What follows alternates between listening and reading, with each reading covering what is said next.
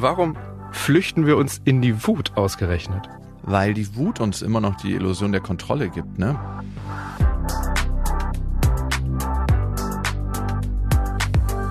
Willkommen zu Smarter Leben. Ich bin Lenne Kafka und diesmal sprechen wir darüber, wie wir besser mit unserer Wut klarkommen. Zu Gast ist Psychologe, Autor und Podcaster Lukas Klaschinski. Ich bin nicht gern wütend, weil es sich danach immer so anfühlt, als hätte irgendwer die Kontrolle über mich übernommen. Wut kommt oft plötzlich, sie ist manchmal im ganzen Körper zu spüren und setzt ungeahnte Kräfte frei. So kann sie zur Gefahr werden und in Gewalt ausarten. Wir können sie aber auch als Antrieb nutzen. Für uns selbst, für uns als Gesellschaft und sie kann uns vor Ungerechtigkeiten schützen. Das mag ich an der Wut. Aber manchmal werde ich einfach wütend, ohne dass ich direkt weiß, ja, warum das jetzt eigentlich passiert. Wie finden wir also einen angemessenen Umgang mit diesem Gefühl? Was hilft, wenn wir mal wieder kurz davor sind, auszurasten? Und wie erkennen wir, was hinter unserer Wut steckt? Darüber sprechen wir in dieser Folge. Lukas, was hat dich zuletzt wütend gemacht? Hui, äh, wahrscheinlich mein Geschäftspartner, der irgendwas hingedonnert hat, weil ich mag Ordnung. Ordnung im Außen macht irgendwie bei mir Ordnung im Innen und das macht mich dann wütend manchmal. Und dann schaffe ich es nicht immer, ihm das zu sagen, hey du, ich wünsche mir Ordnung, könntest du bitte dafür sorgen, dass dein Kram weggeräumt wird und ich sorge dafür, dass mein Kram weggeräumt wird. Also was ganz typisches für dich. Unordnung ist so ein Thema, was dich wütend macht zum Beispiel. Ja, auf jeden Fall. Aber es gibt viele Sachen, die mich wütend machen, ne? Wenn jemand dem anderen immer ins Wort fällt, zum Beispiel, wenn man eigentlich was zu sagen hat und der andere fällt einem ständig ins Wort. Eine Sache, die mich früher extrem wütend gemacht hat, aber heute geht es, würde ich sagen, einigermaßen, sind so Autoritätspersonen, die, ich würde sagen, ihre Autorität ein Stück weit nutzen, um ihre Macht auch zu demonstrieren und wo es nicht so ein auf Augenhöhe gibt, sondern eher so ein, du musst jetzt das machen, was ich sage. Okay. Bei mir ist es, glaube ich, zum Beispiel, dass ich ist auch, und das hat auch was mit Autoritäten, glaube ich, zu tun. Wenn ich mich unfair behandelt fühle, das macht mich mhm. wahnsinnig wütend. Oder was ich mich auch wahnsinnig macht, ist, wenn, wenn mir so ein Fehler von früher, den ich eigentlich schon abgestellt hatte, wenn der mir nochmal passiert. Also wenn, wenn ich irgendwie so Dinge aus meiner Vergangenheit, wo ich dachte, die habe ich längst überwunden, wenn die mir wieder passieren, das macht mich wahnsinnig. Es sind auf jeden Fall ganz verschiedene Dinge, die uns wütend machen können, die uns alle wütend machen. Lässt sich aber irgendwie generell auch sagen, wann Wut entsteht. Ja, Wut entsteht meistens dann, wenn eine Grenze von uns überschritten wurde oder eine Grenze von anderen. Wir werden ja auch manchmal wütend, wenn andere irgendwie in Gefahr sind, bedroht worden sind. Ne? Also ich hatte eine Situation im Schwimmbad, dass meine Tochter, die ist jetzt sechs, oder war sie noch ein bisschen kleiner und ich habe diese umgezogen und die war dann halt nackt und dann kam älterer Herr an und der war anscheinend sehr, sehr kinderlieb und der hat dann erst mit ihr geredet und dann wollte er ihr so in die Brust kneifen und sie stand so nackt da. Und da habe ich gemerkt, so, bab, wie meine Hand so direkt an sein Handgelenk ging. Und das hat mich auch in dem Moment extrem wütend gemacht. Also wir können immer davon ausgehen, dass wir unsere Grenzen oder die Grenzen von anderen verteidigen wollen. Letzteres heißt auch dann, wenn wir das ausführen, empathische Wut, dass wir die Grenzen von anderen wahren. Okay, das mit deiner Tochter war jetzt auf jeden Fall eine sehr offensichtliche Grenzüberschreitung, mhm. finde ich. Manche sind aber ja eher so unterbewusste Grenzüberschreitungen und ich finde, die Wut, die kommt oft auch sehr plötzlich, sehr intensiv, sehr überwältigend und diese Grenzen sind uns ja gar nicht immer klar. Bevor wir jetzt tiefer ins Thema einsteigen, hast du vielleicht so eine kurze Nothilfetipp, wie man sich vielleicht in so akuten Situationen schnell runterkühlen kann? Ja, erstmal ist es ganz, ganz wichtig, dass wir unsere Wut bemerken, weil wie du richtig gesagt hast, die kommt wie so ein heißer Eimer Wasser, der so über uns rübergekippt wird und auf einmal sind wir nass und dann haben wir auch Sachen gemacht, die wir dann später bereuen. Das liegt ein bisschen darin, dass unser Sympathikus aktiviert wird. Das heißt, Wut soll uns ja darauf vorbereiten, unsere Grenzen dann auch wirklich zu verteidigen und evolutionär gesehen war das eine sehr, sehr wichtige Emotion. Deswegen passiert die auch so schnell und die sorgt dafür, dass wir das an den Rändern ausblenden und was passiert auch bei Wut immer? Unsere Angst wird runterreguliert. Das ist ja auch so. Mit viel Wut haben wir sehr, sehr wenig Angst. Das erste Wichtige ist wahrzunehmen, was da passiert und diese Energie, die aufkommt, nicht ausagieren in Form von Aggression. Das kann sowohl ne, die physische Aggression sein, dass wir dann jemanden eine reindonnern, oder die verbale Aggression, das kennen wir auch, dass wir dann irgendwie was sagen, wo wir denken so, oh, wollen wir unseren Partner wirklich so behandeln? Also wollen wir genauso miteinander reden? Sondern zu gucken, was passiert auf körperlicher Ebene. Was passiert bei dir, wenn du wütend wirst? Was merkst du da? Ich bin innerlich auf jeden Fall ganz unruhig. Ich habe das Gefühl, ich, ich platze irgendwie so. Also ja, und manchmal merkt man so, wie man auch so rot wird, wie sich die Muskeln anspannen, wie man so zusammenkrampft. Also man fühlt sich so hoch energetisiert und weiß gar nicht wohin mit der Energie. Und da ist es zum Beispiel gut, eine Atemübung zu machen, die 378 Atmung.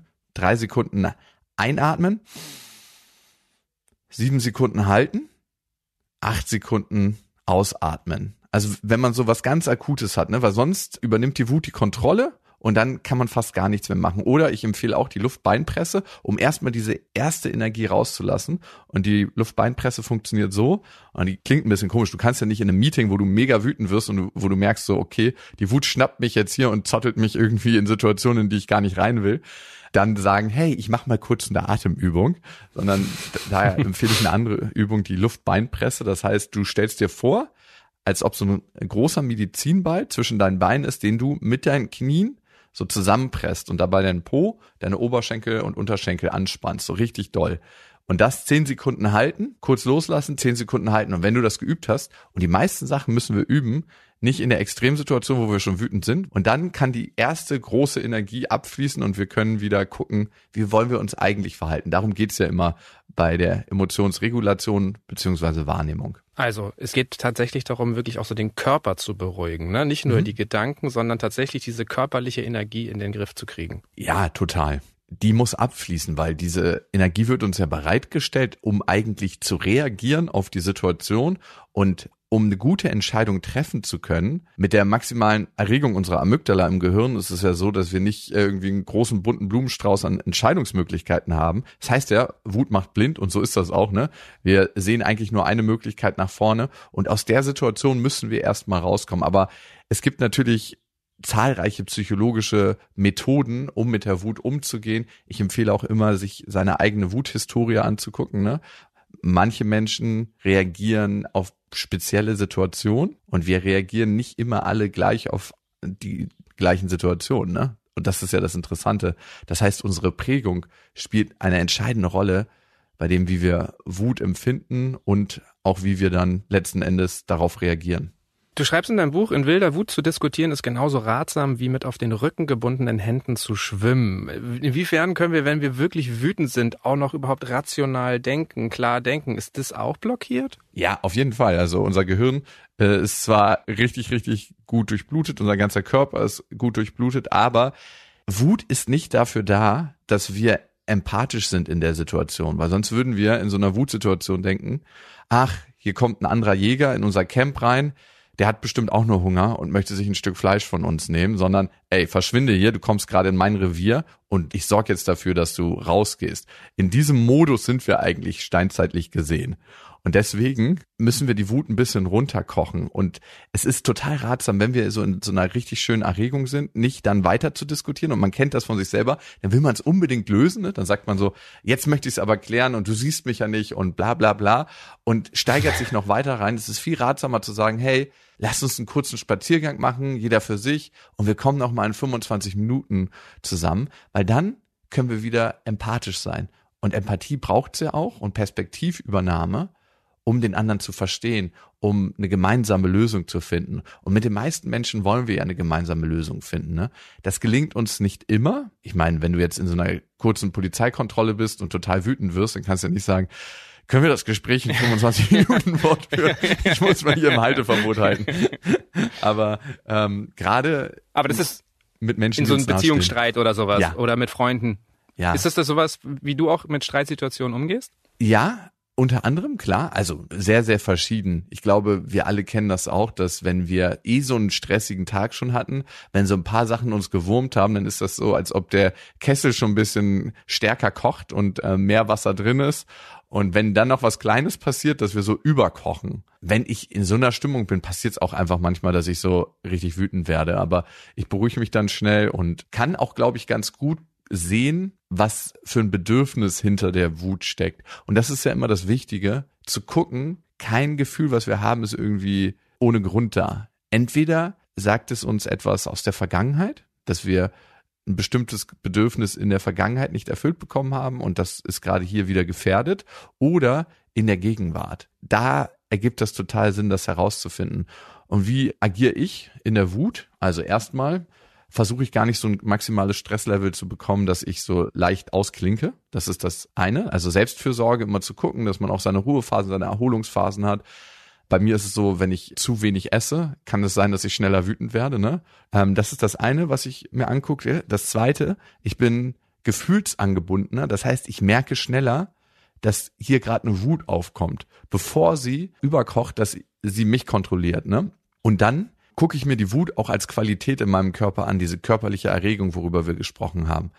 Und habe dafür heute eine andere Akzeptanz. Normalerweise ist es ja so, dass wir die unangenehmen Gefühle direkt wegschieben wollen. So, ne? Traurigkeit. Verunsichern uns halt, ne? Total. Und wir haben keinen Umgang mit denen gelernt und äh, wollen die dann weghaben und dadurch lernen wir natürlich nie einen Umgang. Es ist ratsamer, auch die unangenehmen Gefühle erstmal wahrzunehmen und dann eine Akzeptanz für diese körperliche Erregung zu finden, dass wir uns sie eher angucken wie ein Forscher, wie eine Forscherin und dann können wir als nächstes in den Raum zwischen Reiz und Reaktion den gilt es ja eigentlich immer zu betreten, weil da ist die Freiheit, die Viktor Frankl so schön beschrieben hat, uns zu entscheiden, wie wir uns verhalten wollen. Das ist ja die Magie in diesem Raum. Und der Schlüssel dafür ist eben die Achtsamkeit, also das wahrzunehmen, was in dem Moment ist, und die Akzeptanz, ich nenne es zusammen Gefühlsbereitschaft, um in diesen Raum reinzukommen.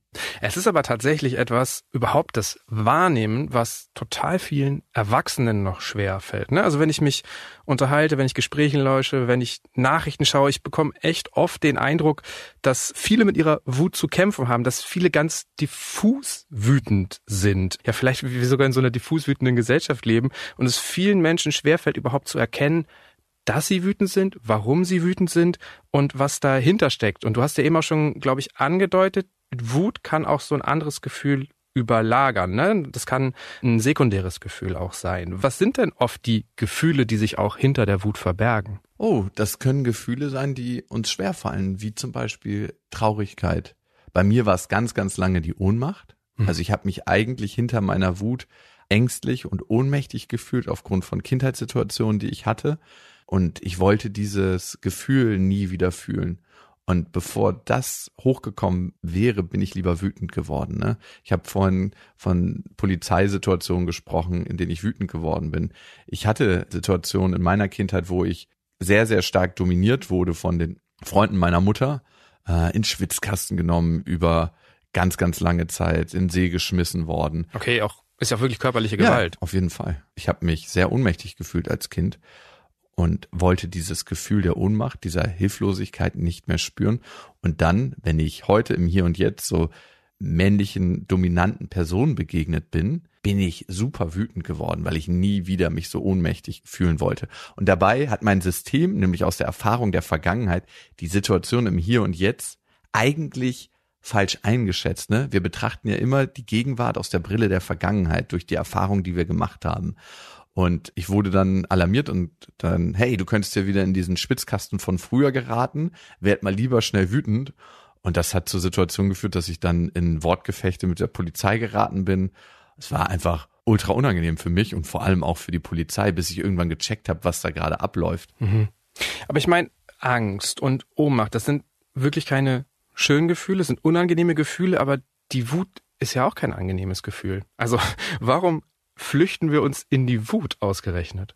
Weil die Wut uns immer noch die Illusion der Kontrolle gibt, ne? Angst, da sind wir absolut ohne Kontrolle. Bei der Ohnmacht, ne? Ohne Macht und aber auch ohne Kontrolle. Und bei der Wut haben wir noch das Gefühl, wir gehen nach vorne und wir kontrollieren nicht immer und wirklich die äh, Situation, ne? wenn wir so auf eine Erregungsskala denken von 0 bis 10 und wir sind von sieben bis zehn erregt, das heißt zehn ist die maximale Erregung. In dieser Spanne führen wir ja keine kontrollierten Handlungen mehr aus, aber es fühlt sich so an. Das heißt, wir sind dann nicht so ohnmächtig. Es ist immer noch angenehmer als die anderen beiden Gefühle. Und gerade für Männer, also die in unserer Gesellschaft männlich sozialisiert wurden, ist Wut auch ein akzeptierteres Gefühl als zum Beispiel die Traurigkeit oder die Angst. Also Männer neigen auch dazu, in die Wut zu flüchten, sozusagen, um der Angst zu entgehen da gibt's Studien zu, dass zum Beispiel kleine Jungs schon eher Wut in Form von Aggression zeigen und Mädchen umgekehrt eher destruktiv werden und die Wut nach innen richten. Und das sehen wir auch bei erwachsenen Frauen und Männern, dass Frauen eher dazu tendieren, die Wut in sich hineinzufressen, Wut gegen sich selbst zu richten. Das kann dann in destruktiven Glaubenssätzen enden. Und Männer Wut eher nach außen hin ausleben, also als Aggression ausleben Und du kannst ja mal auf unsere Gefängniszahlen gucken. Also hat schon einen Grund, warum so viele Männer inhaftiert sind und im Verhältnis dazu viel, viel weniger Frauen. Wenn du jetzt auch schon sagst, dass es selbst bei Jungs und Mädchen so ist, ich meine, kleine Kinder sind sehr oft wütend. Wie, wie können wir sie dabei unterstützen, einen sinnvollen Umgang zu lernen? Wir sind beide Väter, wir haben beide Kinder. Mhm. Was können wir unseren Kindern Gutes tun, um einen guten Umgang mit ihrer Wut zu lernen? Also erstmal ist jede Emotion wertvoll und ich glaube, das würde ich versuchen zu vermitteln.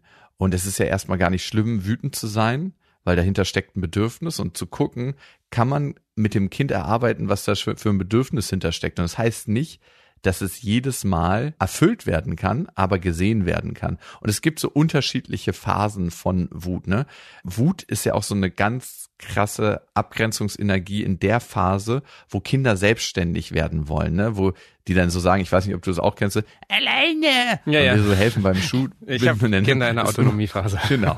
Aber diese ist auch wichtig, weil die Wut, die sie dann entwickeln und so patzig werden, die sorgt dafür, dass man dann auch einen Schritt zurückgeht und sagt, okay, mein Kind möchte das jetzt auch alleine probieren, auch wenn das morgens 30 Minuten dauert, wenn sich das Kind dann anzieht und die verdammten Schuhe zubindet und man denkt sich so, oh nee, ich habe einen Termin bei der Arbeit und ich will nicht der Letzte sein. Und das äh, fordert einen ja auch heraus. Ne? Aber die Wut ist wichtig, damit die Kinder lernen, hey, ich kann das selber und ich kann Dinge in der Umwelt umsetzen nach meinen Vorstellungen. Das nennen wir Selbstwirksamkeitserleben, ist übrigens auch sehr stark korreliert mit späterem beruflichen Erfolg. Und das hängt dann wiederum sehr, sehr stark zusammen mit dem eigenen Selbstwertgefühl. Ne? Wenn ich merke, ich kann Dinge in der Umwelt nach meinen Vorstellungen gestalten, dann zeigt sich das auch wieder auf mich ein, dass ich einen Wert habe, denn ich kann meine Umwelt formen. Und du hattest ja gefragt, wie können wir das in unseren Kindern ja unterstützen? Mädchen auf gar keinen Fall sagen, ey, sei nicht wütend, lieb, nett und artig angepasst und brav. Das verlangen ja viele so speziell von, von Mädchen und dann werden die immer in den Arm genommen, wenn die, wenn die weinen, obwohl man eigentlich denkt, vielleicht in manchen Situationen könnten sie wütend sein. Und dann lernen sie schon ganz, ganz früh, viel, viel früher als dann Jungs, die häufig anders sozialisiert werden. Hey, Traurigkeit, ist total akzeptiert, wenn du meine liebe, nette und artige bist. Aber wenn du wütend bist, das möchte ich nicht. Dann bist du eine kleine Zickige. Also die Wut ist erstmal okay. Und dann auch vorleben, wie kann ich denn konstruktiven Umgang mit meiner Wut leben? Zu gucken, auf das Bedürfnis, was dahinter steckt. Wenn ich denke, wann ich das letzte Mal wütend wurde mit meinem Kumpel, ich habe eigentlich ein Bedürfnis nach Ordnung und nach Klarheit im Büro. Kann ich das so formulieren, dass es bei dem anderen ankommt? Und dann nutze ich meine Wut ja, um etwas Positives zu machen, nämlich dem Wunsch dahinter gerecht zu werden. Und das können wir unseren Kindern vorleben. Das heißt, erstmal einen Raum für Gefühle schaffen und dann die Gefühle so transformieren, dass sie diesen positiven Nutzen eigentlich aus der Botschaft ziehen. Und da bist du auch bei einem wichtigen Punkt. Wut ist ja nicht nur destruktiv, gefährlich, überwältigend, intensiv, sondern sie hat ja auch wirklich gute Seiten. Ne? Sie kann ein Antrieb für Veränderung sein, ein Antrieb ins Gespräch zu gehen. Sie kann uns auf Ungerechtigkeiten aufmerksam machen. Wenn ich wütend über Entscheidungen bin, dann fange ich auch in der Regel dafür an, für mich einzustehen oder für andere, für, für meine mhm. Familie zum Beispiel. Fallen dir noch mehr positive Eigenschaften der Wut ein? Also ich glaube, die allerwichtigste positive Eigenschaft ist, wenn jemand wirklich über unsere körperlichen Grenzen oder die körperlichen Grenzen von jemand anderes geht, da halt Stopp zu sagen. Und stell dir mal vor, ich wurde so sozialisiert, dass ich diese Energie nicht zur Verfügung habe, wenn mir immer gesagt wurde, sei nett, brav und artig und äh, nur wenn du das bist, wirst du so geliebt. Das steckt ja in ganz vielen drin in ihrem eigenen System. Wie gut kann ich mich dann als erwachsener Mensch behaupten und auch wenn meine Grenzen überschritten werden, sagen halt Stopp bis hierhin und nicht weiter. Das ist, glaube ich, was ganz, ganz Wichtiges. Wie viel gesellschaftliche große Veränderungen hätte es gegeben ohne die Wut, ne? Also die Klimademonstration, ich glaube, da ist relativ viel Wut dabei, aber auch Frauenwahlrecht, ne? Wenn die Frauen nicht wütend gewesen wären, als sie damals auf die Straße gegangen sind, hätten sie wahrscheinlich überhaupt nicht die Plakate hochgehalten. Hätten sie das nicht gemacht. Das heißt, Wut kann auch ein guter transformatorischer Prozess sein, den wir nutzen können als Gesellschaft. Wenn Wut aber einerseits eine sehr angemessene Reaktion sein kann, manchmal aber auch eine, die uns eher auf Verletzungen, Bedrohungen der Vergangenheit hinweisen. Wie weiß ich in einer akuten Situation, wie angebracht meine Wut gerade ist? Da ergibt es total Sinn, immer wieder auf Situationen zu gucken, wo ich wütend geworden bin. Und aus dem rationalen Verstand verstehe ich dann irgendwann, war das angebracht in der Situation wütend zu werden oder nicht. Ne? Ich habe eine ganze Weile gedacht, hey, die Polizei, die hält mich ohne Grund an und ist ganz natürlich, dass ich da wütend werde. Irgendwann habe ich dann gecheckt, hey, eigentlich ist es nicht so normal, so wütend zu werden. Die wollen halt einfach deinen Führerschein sehen. Manchmal bist du auch zu schnell gefahren oder es ist einfach eine Routinekontrolle. Gib einfach deinen verdammten Führerschein raus und alles ist gut. Ne? Da habe ich lange für gebraucht, um die Situation dann im Nachhinein zu reflektieren und zu sagen, ey, da bin ich eigentlich unadäquat wütend geworden. Ne? Und das können wir alle tun und Situationen angucken, in denen wir wütend geworden sind und zu gucken, eins, hat das zu der Situation gepasst? Und zwei, habe ich dann so darauf reagiert, wie ich mich gerne verhalten hätte. Genau dazu lade ich jeden ein. Und falls die Wut viel, viel stärker ist und gar nicht so angemessen ist für die, zu der Situation, dann können wir davon ausgehen, dass der Grund dafür irgendwo in unserer Vergangenheit liegt, dass entweder unsere Eltern zum Beispiel Wut in Form von Aggression total krass ausgelebt haben, dass wir überhaupt nicht sicher waren in unserem Umfeld und uns sehr bedroht gefühlt haben, dann können nämlich zwei Sachen passieren. Entweder gucke ich mir das ab als erwachsener Mensch und werde ein kleiner Choleriker oder werde jemand, der das auch genauso macht, oder ich werde überangepasst. Das heißt, dass ich mich dann in solchen Situationen so verhalte, dass ich die Wut von meinen Eltern nicht abkriege. Und diese Reise zurück in die Vergangenheit macht einem dann bewusster, hey, mein Gefühl der Wut will eigentlich mir nur einen Hinweis drauf geben, dass es sich immer noch in der Schutzreaktion von damals befindet. Und dann, so habe ich es zumindest gemacht mit meiner Ohnmacht und ich glaube, das funktioniert für sehr, sehr viele Menschen gut, in diese alte Situation gehen und dieses primäre Gefühl, also dieses Gefühl, was eigentlich von unserer Wut überdeckt wird, einmal wahrzunehmen und zu gucken, hey, als kleiner Junge war ich in diesem krassen Schwitzkasten. Ich habe mich wahnsinnig ohnmächtig und ausgeliefert gefühlt. Ich war unglaublich traurig. Wie resoniert das in mir? Kann ich das heute fühlen? Kann ich heute als Erwachsener mit dem Gefühl sein?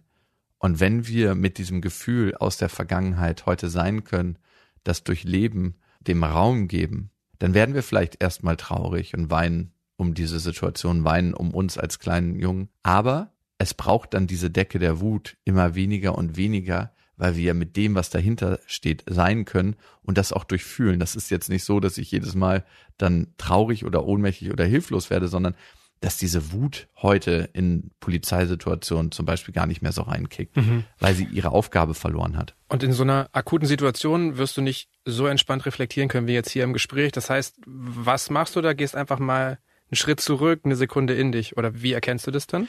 Genau. Also je mehr wir das üben und Psychologie ist auch einfach reine Übungssache. Ne? Wir erwarten immer von Psychologie, dass wir es einmal verstehen und dann macht es Klick und dann können wir das ausagieren. Aber es ist so ein bisschen so, als ob wir uns die Olympischen Spiele beim Eislaufen angucken und dann denken, hey, wenn wir uns jetzt Schuhe an, äh, Schlittschuhe anziehen, dann können wir das genauso. Aber das kann man ja mal ausprobieren. Also das heißt, wir müssen es ausführen. Je bewusster wir uns werden, desto näher geraten wir an die Explosion, dahin, wo es eigentlich passiert, diese Bombe, die explodiert, wenn wir wütend werden. Und irgendwann schaffen wir es, diese zu entschärfen, bevor sie explodiert. Und mit jedem Mal, wo uns das bewusster und bewusster wird und wo wir uns auch schaffen, uns selbst in so einer Situation von außen zu beobachten, aha, ich spüre jetzt meine Wut, ich bin mit meiner Wut verbunden und ich weiß, das ist jetzt keine gefährliche Situation für mich, danke Alarmsystem Wut, das ist gar nicht so eine gefährliche Situation, war in Anführungsstrichen ein, ein Fehlalarm. Ich merke, da ist Energie da, lass die Energie ab. Und je mehr wir diese Prozesse verinnerlichen, desto adäquater können wir auch auf die Wut reagieren, weil wir sind ja letzten Endes nicht frei, wenn wir völlig in unserer Wut eskalieren. Das fühlt sich immer so an, ja, ich habe auf mein Gefühl gehört und es so gemacht. Aber eigentlich sind wir die Sklaven dann unserer Gefühle. Gefühl wahrnehmen unbedingt, immer alles das machen, was unser Gefühl uns sagt. Auf gar keinen Fall. Weil dann können wir keine Sachen machen, wo wir uns schämen, keine Sachen machen, wo wir Angst haben. Dann können wir auch keine Sachen machen, irgendwie, die uns wütend machen würden. Freiheit entsteht dann, wenn wir uns wirklich entscheiden können.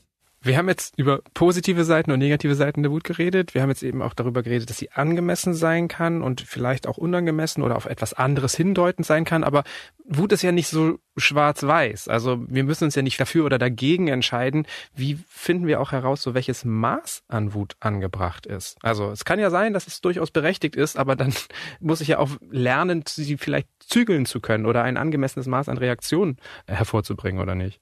Total. Und da es ist wieder so, dass wenn wir die Wutsituation reflektieren und vielleicht auch mal ein Wuttagebuch führen, ne? Also wir setzen uns ja häufig in Gedanken auseinander mit dem, was passiert ist. Und dann tendieren wir dazu, immer sehr ähnlich wieder darüber zu denken und das einzuordnen, weil das der leichteste neuronale Weg ist, weil das schon vorgefertigt ist in unserem Kopf. Aber in dem Moment, wo wir auch mal aufschreiben, sehen wir das von außen und von außen haben wir immer andere Bewertungsmöglichkeiten, weil wir emotional ein bisschen auf Abstand dazu sind und dann verschiedene Möglichkeiten haben, das zu bewerten. Also ich empfehle auch mal ein Wuttagebuch zu führen und dann zu gucken, aha, was gäbe es hier für Möglichkeiten? Und je mehr ich meinen Werkzeugkoffer an Möglichkeiten, an Handlungsspielräumen auffülle, desto mehr steht mir in der Situation zur Verfügung. Das ist so ein bisschen wie Schlagfertigkeit, ne? Manche Leute sind schlagfertig, andere nicht. Schlagfertigkeit ist meistens etwas, was wir implizit oder explizit üben. Klar ist es ein bisschen vom Charakter abhängig. Extravertierte Menschen sind in der Regel schlagfertiger, weil sie auch mehr Situationen haben. Aber wir lernen das in unserer Kindheit, zum Beispiel von unseren Eltern oder wenn wir bestimmte Sachen lesen, holen wir das in unser System. Und genauso können wir verschiedene angemessene Wutreaktionen in unser System holen, dass wir sagen, hey, das und das haben wir bereit. Wenn uns ein Kollege zum Beispiel eine Idee immer wieder klaut. Da gibt's drei, vier, fünf, zehn verschiedene Möglichkeiten, darauf zu reagieren. Ne? Ein gutes Gespräch mit ihm suchen. Hey, mir fällt auf, deine Ideen ähneln ganz schön meinen. Ich fände ganz, ganz toll. ähm, Gefällt mir gut. die gefallen mir gut, die Ideen kommen ja auch von mir. Aber ähm, mir ist es schon wichtig, dass sie auch da bleiben. Ne? Also wir, wir haben ja so viele Möglichkeiten zu reagieren, aber in der akuten Wutsituation merken wir das nicht. Das heißt, wir müssen unseren Werkzeugkoffer füllen, wenn wir eben nicht wütend sind. Und am Ende ne, haben wir ja so viel zu tun in unserem Leben. Wir bringen unsere Kids zur Schule oder in, in die Kita. Wir gehen arbeiten, äh, wir wollen es gerade noch so zum Sport schaffen, dann müssen wir ein bisschen Beziehungspflege oder wollen ein bisschen Beziehungspflege machen, haben auch Bock auf Freizeit. Keiner hat Bock, so eine Sachen zu trainieren oder zu machen. Und deswegen ist es auch gut, so eine Podcast zu hören, weil da passiert schon ganz viel mit unserem Bewusstsein. Es eröffnet kleine Türen und ich habe nächstes Mal mehr Möglichkeiten zur Verfügung. Aber jetzt, wo du das auch so ansprichst, ne, wir, unser Alltag ist ganz voll. So, wir hetzen von einem Termin zum nächsten, haben viele Dinge, die wir machen wollen, machen müssen. Du hast vorhin gesagt, du versuchst gar nicht zu viel Stress aufkommen zu lassen. Aber im Alltag treffen wir ja auch auf andere Menschen und auch die können wütend sein. Im Bus, im Supermarkt, leider vielleicht auch zu Hause oder im Job. Menschen, die man eigentlich mag. Wie gehen wir sinnvoll mit der Wut der anderen um? Wie lassen wir uns davon auch nicht anstecken? Weil ich finde, das ist auch so eine Sache, die bei der Wut ein Problem ist. Die kann schon auch ansteckend sein. 100 Prozent, ne?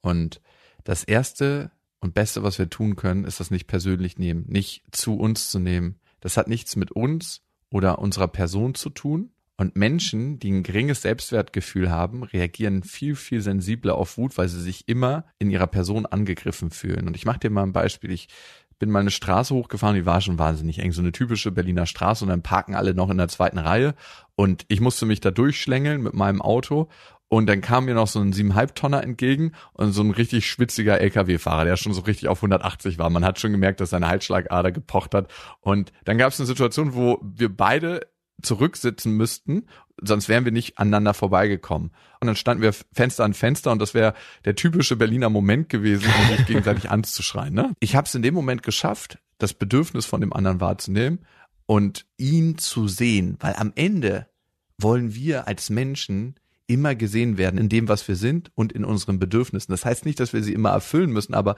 jemand anderes das Gefühl zu geben, ich sehe dich, löst die meisten Konflikte auf. Und ich habe das Fenster runtergekurbelt und gesagt so, wow, ey, das ist ganz schön beachtlich, wie sie hier mit dem siebeneinhalb Tonner durch die engen Gassen fädeln, habe ich ganz schön Respekt vor und es muss auch richtig anstrengend sein. Äh, ich schaue mal, dass ich ein Stück zurücksetze, dass wir hier gut aneinander vorbeikommen. Und du hast in dem Moment gesehen, der Typ ist den ganzen Tag mit seinem verdammten LKW unterwegs und hat so viele solche Stresssituationen, dass sein ganzes System runterfahren konnte und die Anspannung aus dem Gesicht ist runtergefallen. Wir sind aneinander vorbeigefahren und er hat sogar noch ein Danke hochgezeigt. Und klar gibt's solche Situationen nicht immer, aber je mehr wir es schaffen, es nicht persönlich zu nehmen und auch mal mit Freundlichkeit zu reagieren, aber auch mit klarer Abgrenzung bei Cholerikern, ne? desto besser können wir mit solchen Situationen umgehen. Okay, also das ist schon mal ein wichtiger Hinweis, ne? Wenn Wut vielleicht auch bei uns aufkommt, einen Schritt zurückgehen, auch schauen, was ist das Bedürfnis des anderen, der anderen, äh, was ist mein Bedürfnis? Was würde passieren, wenn wir einfach immer unsere Wut runterschlucken? Ja, es gibt im asiatischen Raum in Korea die Wutkrankheit. Das heißt, die Energie, die die Wut ja bereitstellt, die bleibt dann in unserem System und kann sich auch gegen uns richten und ist verbunden mit zum Beispiel einer höheren Empfindsamkeit gegenüber Schmerzen. Manche Psychologen sagen, dass sogar Alkoholismus und Depression aus dem Unterdrücken von Wut entsteht. Äh, viele psychosomatische Krankheiten stehen damit in Verbindung. Das heißt, es ist auf jeden Fall ungesund, ne? Herzkrankheiten. Das ist manchmal ein bisschen schwer zu erforschen. Ne? Wie willst du jemanden äh, verfolgen und sagen, ah, okay, äh, Wut, weil du die runterschluckst, das ist der einzige Grund, warum du jetzt irgendwie einen Herzinfarkt hast. Ne? Das ist fast nicht zu machen, aber es gibt schon relativ viele Zusammenhänge, die immer mehr erforscht werden. Wir können dann noch keinen absoluten Zusammenhang feststellen, aber es gibt sie auf jeden Fall. Mhm. Und ist es so, dass sich Wut dann irgendwann wirklich ein Ventil sucht, so wie es einem als Kind auch gerne mal gesagt wird? Ja, aber ich glaube, das Ventil ist nicht immer so ersichtlich. Klar kann es sein, dass es so in cholerischen Anfällen ausbricht, dann ist es sehr ersichtlich bei Menschen, die zum Beispiel sehr überangepasst leben und immer Ja und Amen zu allem sagen und dann sagen sie auf einmal so, nein, warum soll ich das schon wieder machen? Und das ist ja eine Frechheit. Und die brechen in totale Wut aus in einer Situation, wo du denkst so, war doch jetzt eigentlich gar nicht so schlimm. Und das liegt meistens daran, dass sie 20 Mal davor schon ähm, nicht gesagt haben, was sie eigentlich wollen und möchten. Und dann ist das wie so ein Kochtopf, der immer heißer wird und heißer wird. Und irgendwann bei einer Kleinigkeit, wenn nur noch ein Grad erhöht wird, springt der Deckel ab. Aber die Wut kann sich natürlich auch gegen einen selber richten, in Form von destruktiven Gedanken. Ich bin es nicht wert, ich tauge nichts. Und das ist die Wut, die dann eigentlich die psychische Gesundheit gefährdet, wenn sie immer die ganze Zeit nach innen geht. Und Wut unterdrücken macht auf jeden Fall was mit dem Selbstwertgefühl. Was passiert, wenn ich die ganze Zeit meine eigenen Bedürfnisse nicht wahrnehme? Dann sagt es meinem System, du bist es nicht wert, dass deine Bedürfnisse erfüllt werden. Und ich meine, wenn man sich das Wort Selbstwertgefühl aufschlüsselt, dann steckt das ja dahinter. Was entscheidet denn darüber, ob aus Wut irgendwann wirklich auch Gewalt wird? Relativ viele Faktoren. Ne? Einmal, was habe ich in meiner Kindheit erlebt? Habe ich Gewalterfahrung in meiner Kindheit erlebt? Wie haben mir dann meine Eltern den Umgang mit diesem Gefühl vorgelebt? Und wenn ich zum Beispiel ganz, ganz krasse Gewalterfahrung erlebt habe ne, und mich sehr ohnmächtig gefühlt habe, dann ist das ja auch für die Leute wieder ein Gefühl, was sie nicht mehr erleben wollen. Und dann kann es passieren, dass so eine Art Traumareaktion daraus entsteht, dass ich dann lieber draufhaue bei jemand anderem, anstatt dieses Gefühl des Unterlegenseins zu spüren. Und das ist der Kreislauf, den man bei ganz, ganz vielen Gefängnisinsassen findet. Ne? Wenn man sich mal die Historie anguckt von denen, ist das ganz, ganz häufig so, dass sie sich unterlegen gefühlt haben und keinen Umgang mit ihrer eigenen Verletzlichkeit finden konnten oder sehr, sehr viel beschämt und verletzt wurden. Mhm. Im Grunde geht es aber auch darum, die Gefühle rechtzeitig zu erkennen. Ne? Und vor allem Männern fehlen ja oft die Worte, die eigenen Gefühle zu benennen. Das hast du jetzt auch schon mehrfach angedeutet mit dieser Gefängnisstatistik zum Beispiel. Wenn ich jetzt bisher gar keinen Zugang zu meinen Gefühlen hatte, was wäre denn ein erster Schritt? Ja, erstmal, warum fällt uns das so schwer, das wahrzunehmen? Ne? Wenn ich meinen Garten der Emotionen ein ganzes Leben lang nicht gewässert habe, dann verkümmert er ja auch irgendwann. Dann zeigt sich das nicht mehr so das ist ja eigentlich, als ob wir lernen, Musik in ihren verschiedenen Facetten zu hören und äh, wahrzunehmen. Wenn ich das erste Mal zu einem Jazzkonzert gehe und wir werden als Jazzmusiker quasi geboren als Kinder, wir haben eine ganz, ganz tolle und sensible Wahrnehmung für unsere Gefühle. Aber dann wird dir eigentlich über Jahre gesagt, halt dir deine verdammten Ohren zu, du sollst das nicht mehr hören. Ne? Und das wird uns nicht immer explizit gesagt, manchmal auch. Also äh, ein Ritter kennt keinen Schmerz, du musst dich durchsetzen und stark sein. Das wird äh, Jungs ja relativ häufig erzählt. Plus, wie häufig sehen wir unsere eigenen Väter weinen und zu ihren eigenen Gefühlen der Schwäche, in Anführungsstrichen schon allein das, die Konnotierung der Schwäche zu stehen, sehr, sehr selten. Das heißt, wir lernen gar nicht so richtig, dass wir einen Zugang zu unserer Angst, zu unserer Scham, zu unserer Verletzlichkeit haben können, zu unserer Traurigkeit auch, ne? Das heißt, wir entwickeln das nicht, über Jahre überhören wir das und dann sind diese Gefühle auf einmal nicht mehr da. Und ich würde als erstes empfehlen, wieder mal in Situationen, wo ich merke, da kommt was Kleines, da kommt so eine kleine Berührung. Meistens ist uns das so unangenehm über die Jahre, dass wir das gar nicht haben wollen. Das heißt, wir gehen so schnell weg daraus, ne? Wenn ich Traurigkeit empfinde, dann bin ich früher immer raus aus der Situation, so. Mal kurz innezuhalten und zu gucken, das regt sich da in meinem Körper. Was ist das eigentlich so? Auch wenn es so eine ganz kleine Nuance ist von Enge im Hals, Druck auf den Schultern. Okay, und kann ich damit sein? Und dann kann ich auch gucken, was möchte mir diese Emotion gerade mitteilen und möchte ich damit sein? Also ich mache dir ein Beispiel. Ich habe es ganz lange nicht geschafft, in meine Traurigkeit zu kommen. Ne? Ah ja, von meinem Vater und von meinem Opa schon gar nicht. Ne? Das waren immer harte Männer, die sind beide auf dem Bau groß geworden und sozialisiert worden. Äh, mein Opa ist auch so ein typischer Mann. Ich habe meinen Opa nie weinen sehen. Jetzt ist es so, dass er gerade im Sterben liegt. Und wir haben uns alle so einfach so verabschiedet, wie man das so immer macht. Tschüss, Opa. Und dann winke, winke, goodbye und rausgegangen. Aber ich habe wirklich gemerkt, dass ich das Gefühl hatte, hey, das könnte in diesem Moment das letzte Mal gewesen sein, dass ich meinen Opa sehe. Und diese Traurigkeit, die da hochgekommen ist, die habe ich eben nicht weggeschluckt und habe gesagt, trotzdem Tschüss, Opa, weil wir hätten sonst eigentlich den letzten Moment miteinander verpasst, sondern ich äh, bin auf die Knie gesunken und ähm, habe angefangen zu weinen und habe meinen Kopf auf seine Brust gelegt und habe einfach gesagt, wie wichtig er mir ist als Opa und wie schön ich die Zeit finde, die wir hier zusammen verbringen. Und hier hast du wieder was, was die Traurigkeit einem sagt. Traurigkeit kann super verbindend sein, nämlich sie zeigt an, hey, du bist mir als Mensch sehr, sehr wichtig. Und darum ist es auch schön, dass es sie gibt. Ja, sie bringt dann in Verbindung, ne? Und wenn, wenn man sie einmal mhm. erstmal zulässt, dann ist meine Erfahrung, kommt sie automatisch auch viel leichter danach wieder hervor. Das ist auch das, was vielleicht so Angst macht, ne? Mhm. Du hast eben auch angedeutet, so, dass man als ersten Schritt so auch wieder ein bisschen in den Körper reinfühlen soll. Ist das etwas, was Männern viel leichter fällt? Also wenn sie schon diese Gefühle, so was Fremdes, Diffuses, Beängstigendes ist, einfach erstmal auf Körpersignale zu achten? Dieses in den Körper hineinspüren. Ne? Wenn du in einer Psychotherapiesitzung bist, dann fragt der Psychologe oder die Psychologin ja immer, wie fühlen sie sich gerade, ne? Das ist so, ein, so eine Klischeefrage und die macht mancher schon so wütend, so dass man denkt so, oh Mann, ey. Immer dasselbe. Ich fühle mich gerade wie immer. ja, genau.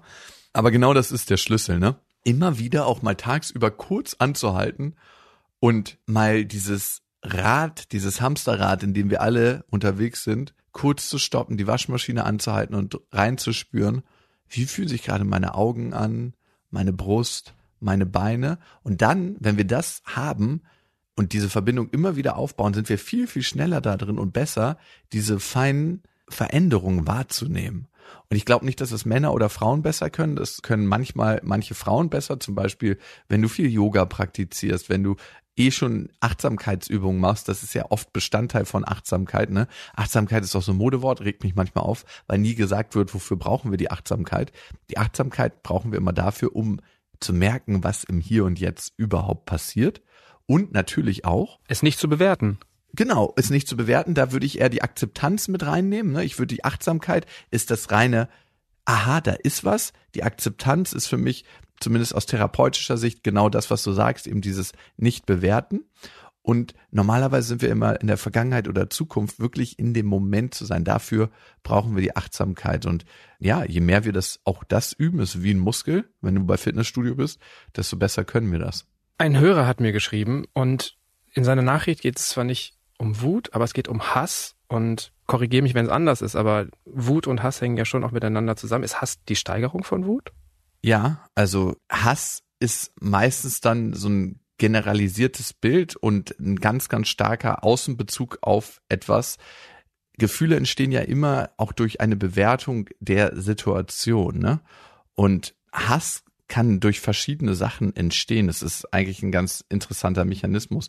Aber häufig hat Hass was damit zu tun, auch hier wieder, dass ich eigentlich eine innere Verletzung, eine innere Unsicherheit nicht spüren möchte und dann mich nach außen richte und dort was ausagiere, beziehungsweise ein großes Gefühl spüre, was mir in Anführungsstrichen eine trügerische Sicherheit gibt. Ich lese dir einfach mal seine Mail vor. Er hat geschrieben, ich erkenne, dass sich in mir Hass entwickelt. Gegen Gruppen von Menschen, gegenüber Parteien, die mein Leben und meine Ziele einfach zerstören durch Maßnahmen, die mich ohnmächtig hinterlassen.